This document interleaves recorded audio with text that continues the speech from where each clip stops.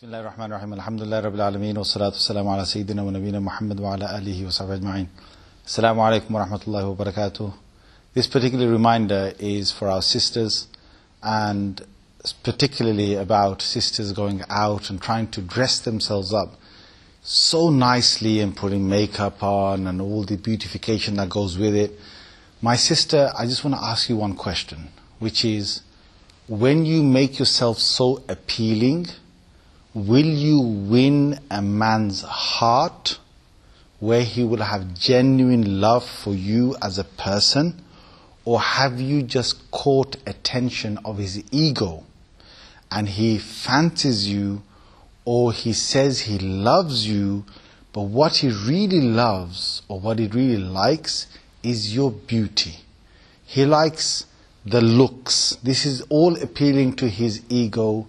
Love is something else. True love is something else. Love is when you love the person, the ins, the outs. I mean, the whole person. We're talking about the soul, the body. Love is when you want to be by their side, even though they're not looking good. Love is when you want to be with them, even though they're having a bad time or, or they're bedridden. Love is when you want to be with that person in all situations, for better or for worse. That's love. Ego is when someone says they love you, but they only love you for the beauty. They love you for your hair. They love you for your for your looks. Love you for your makeup. Love you for your maybe your money. Love you for something else that you've got, which is really not you. It's something that you put on. You know, you put on this makeup. This was something extra you put on. You you made yourself beautified in a certain way. That's not always going to be you. Okay, you may have some money or you may have something else or some other fame or whatever it is. It's not really you. It's part of you, but it's not you. Okay?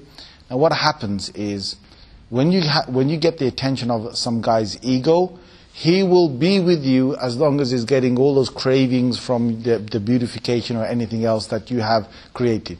But when you actually catch a man's heart and you've got his love from his heart, then you've got a long-term relationship and he will actually look after you. There's a difference between him spending on you for a little while because he's in the lovey-dovey mode and you enjoying all of that and a difference between another man who actually invests in you invests in your life. He doesn't just spend on you for a few nights here, for a few days here, for a few hotels here, for a few, you know, night outs, dinners, whatever. But he actually invests in you and in your future. There's a two, there's, there are two separate worlds. When you understand that, what you've got to understand is, my sister, it's best that you stay in your normal face that Allah Azza wa gave you, and you go out there and you in your normal life and people see you in your normal self of how you really are.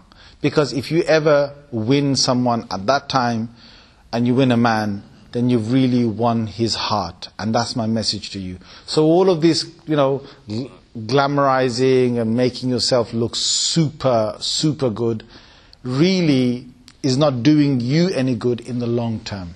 It's not doing you any good you need to be better than that and you need to make yourself feel good in the long, long term. Inshallah. Jazakumullah khair. Wassalamu alaikum wa rahmatullahi wa barakatuh. The Safar curriculum covers all the Islamic educational needs of young Muslims today in a fun, simple, and engaging way. Tried and tested for over 15 years at one of the UK's leading maktabs, the curriculum has been adopted by hundreds of institutions around the world and makes your child's journey in seeking knowledge easy, meaningful, and dynamic. This innovative and comprehensive curriculum covers Quran and Tajweed, Islamic studies, du'as and surahs, as well as Arabic in an integrated and structured way. Visit safarpublications.org to find out more.